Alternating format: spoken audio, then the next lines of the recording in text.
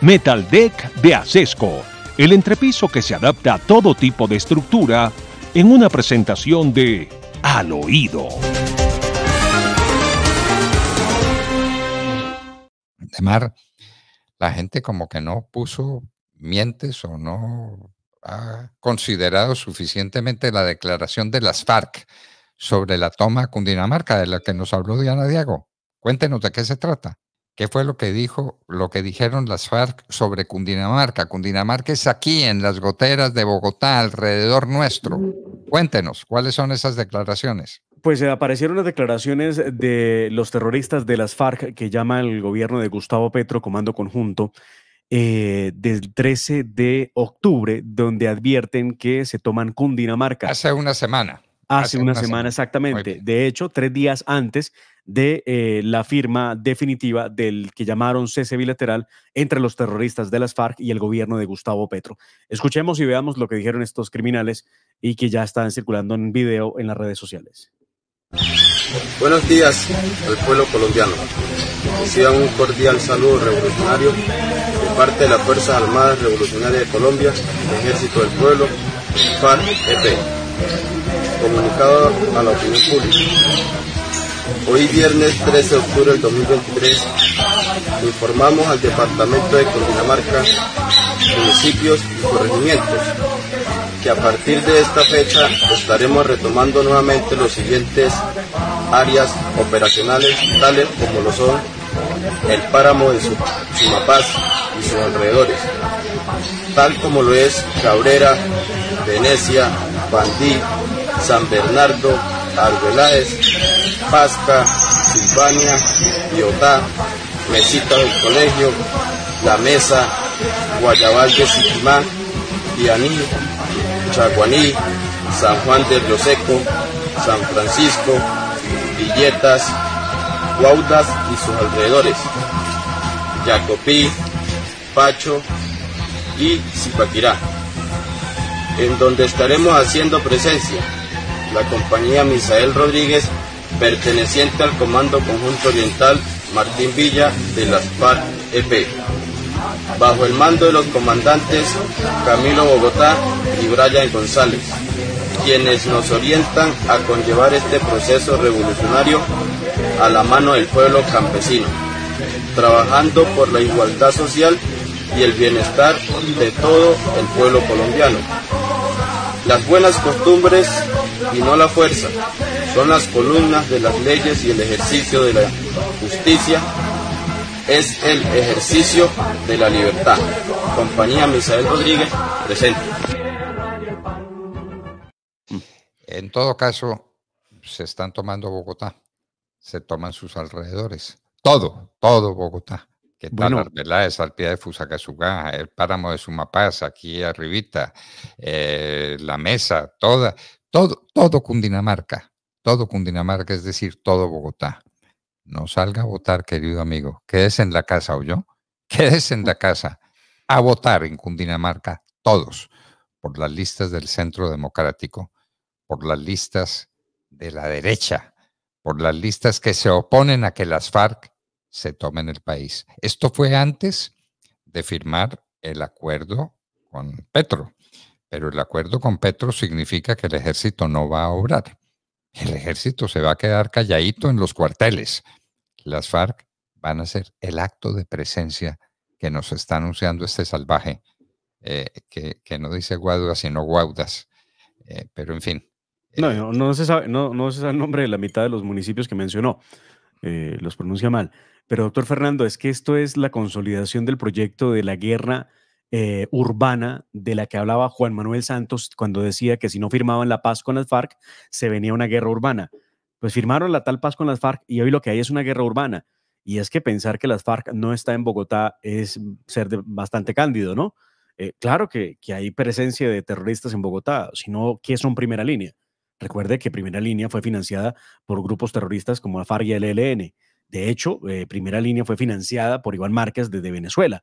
Entonces, estamos hablando de la consolidación de lo que ha llamado Carlos Alonso Lucio, luego la senadora María Fernanda Cabal, la milicianización del país. Evidentemente es lo que tenemos. Muy triste noticia porque Creo que esto no pasaba desde el año 2002 o cosa por el estilo. Ah, pero, pero se nos vino encima. A despertar, queridos amigos, a votar el 29, a votar en Bogotá por un alcalde que no sea en todo caso Gustavo Bolívar. Cuidado, cuidado. Y a votar por un gran consejo. Y a votar en Cundinamarca. Todos, todos a salir a votar. No se quede en su casa porque tal vez sea la última oportunidad que usted tenga de participar en unas elecciones que salven al país. Bueno, Petro, mm, eh, hablando de política internacional, está dedicado a eso, ¿no? Se raspa la rodilla y entonces piensa en política internacional. No tiene respaldo ni siquiera por los demócratas de los Estados Unidos.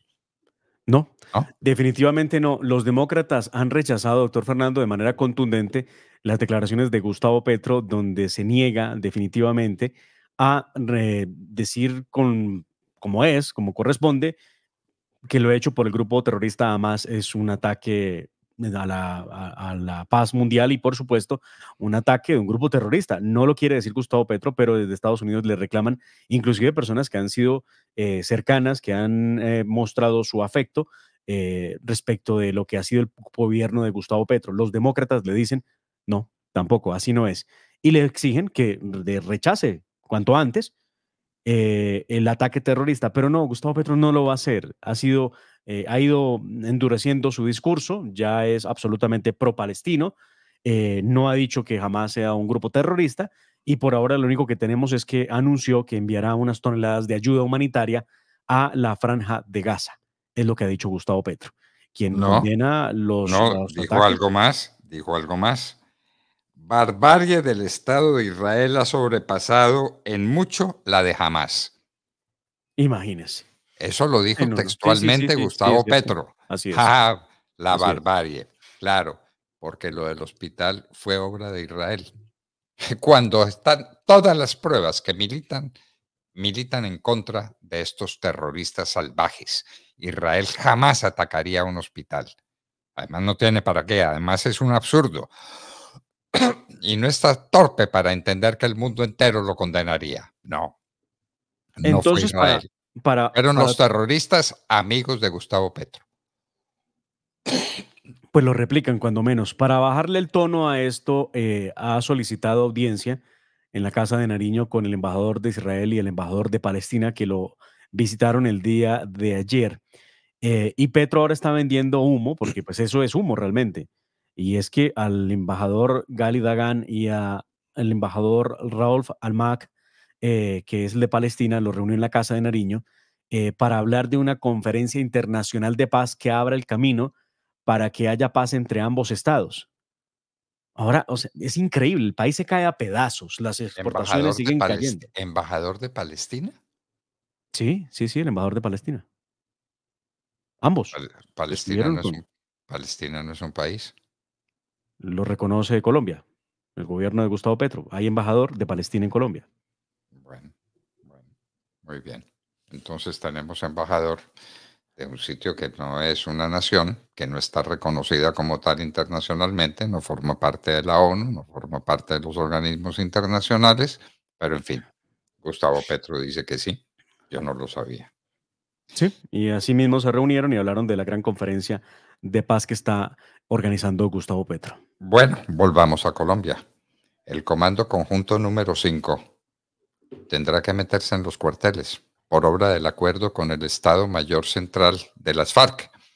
Pero las FARC sí siguen en lo que nos dijo este salvaje ahora, haciendo presencia en toda Cundinamarca. Ellos no están reclutando, no están poniendo bombas, simplemente se están tomando el departamento, ¿no? Y el comando conjunto número 5 guardado en los cuarteles.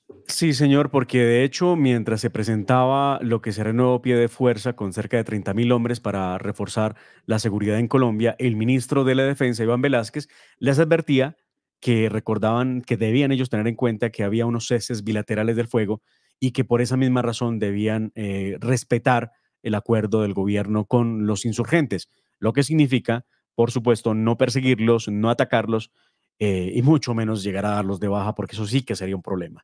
Entonces, pues nada, los inauguran para guardarlos, así de simple. Así de simple. De mar, muy grave lo que está pasando en la economía colombiana. La construcción se vino a la mitad. El Congreso de Camacol fue dramático.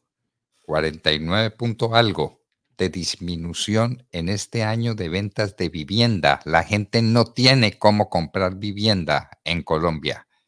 La caída del comercio. Brutal, brutal. Y la caída de la hotelería y del turismo. La situación en San Andrés es gravísima, además.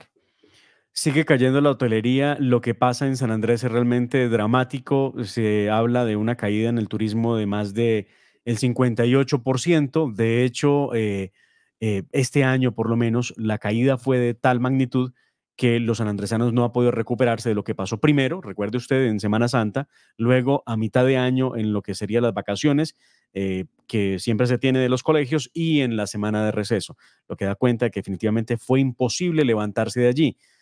si habitualmente los años en San Andrés llevan más de un millón, millón, cien mil turistas a San Andrés en lo que va corrido del año no se está llegando a los 600 mil turistas, lo que significa que va a haber una caída de más del 50% al finalizar el mes de diciembre. Qué horror, qué horror. Qué horror, se nos pierde San Andrés también. Pero no nos preocupemos porque ya el presidente Gustavo Petro tiene todo listo, ya está armando maletas para subirse en un avión e irse para reunirse con Xi Jinping en Pekín el 25 de octubre. Hablarle del metro subterráneo de Bogotá. Pero por Dios, que... hay un contrato firmado para construir el metro, se está construyendo, pero ¿esto qué es? Construya la segunda línea, construya todo lo subterráneo que quiera, pero no paren lo poco que se está haciendo después de 70 años de espera. Y en Bogotá ya no hay por dónde caminar. No, es imposible trasladarse de un lugar a otro en Bogotá. Este agarrón entre Claudia López y Gustavo Petro es sencillamente aburridor porque Gustavo Petro evidentemente hace política con el tema del metro y Claudia López pues también. Entonces, la una dice, no dejemos que eh, vengan a cambiarnos el metro y el otro dice, vamos a cambiar el metro, llamaré a la persona que quede ganadora para decirle qué hay que hacer. Esto es increíble. Claro, él apunta que el metro tiene que ser subterráneo. Volvieron el tema del metro un tema personal. ¿Por qué? Porque le dio la gana. Porque sí, porque, porque le dio la gana. Y un metro subterráneo es muy distinto de un metro elevado. Entonces tenemos presupuesto y tenemos contrato y tenemos todo listo para seguir ejecutando porque se empezó a ejecutar ya el metro elevado de Bogotá. Pero Petro lo quiere subterráneo porque le da la gana y que va a hablar con Xi Jinping sobre el tema. Bueno, como Xi Jinping le va a hablar en chino, pues entonces cualquier cosa que nos digan eh, vale, ¿no?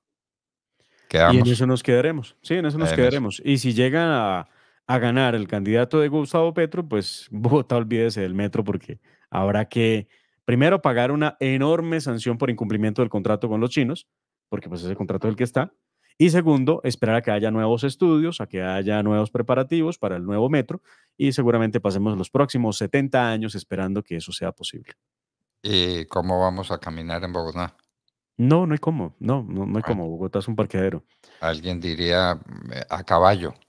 Eh, eso se dijo en Londres alguna vez cuando el transporte se hacía a caballo y se hacía en carrozas. Y entonces se preguntaron la cosa en serio, ¿qué hubiera sucedido si no llega el petróleo, no llegan los carros? Que hubiera sido una catástrofe porque los caballos, solo el estiércol de los caballos no habría dónde meterlo. Así es. usted? Así es. usted? el maldito petróleo. El maldito petróleo que ha permitido el desarrollo del mundo y que ha permitido que estemos donde estemos y que haya el capitalismo que hay y que haya el progreso que hay y que tengamos el mundo que tenemos. Lo tenemos gracias al petróleo. Que sería mejor tener energías renovables. Magnífico, magnífico, tengámoslas. Pero ¿y cuánto cuesta? ¿Y cuánto se demora? ¿Y cómo se hace? Pues empecemos ya, claro que sí. Pero atacar el petróleo y atacar el carbón, Dios mío, eso no se le ocurre sino a Gustavo Petro. Porque hay que atacar el petróleo y el carbón, son más peligrosos que la cocaína y a la cocaína hay que legalizarla, que es hacia donde nos lleva Gustavo Petro y su gobierno. Que de hecho lo hizo, de hecho lo hizo porque no le está persiguiendo. Ah, no. Ya en los Estados Unidos empiezan a hacerle advertencias, ¿no?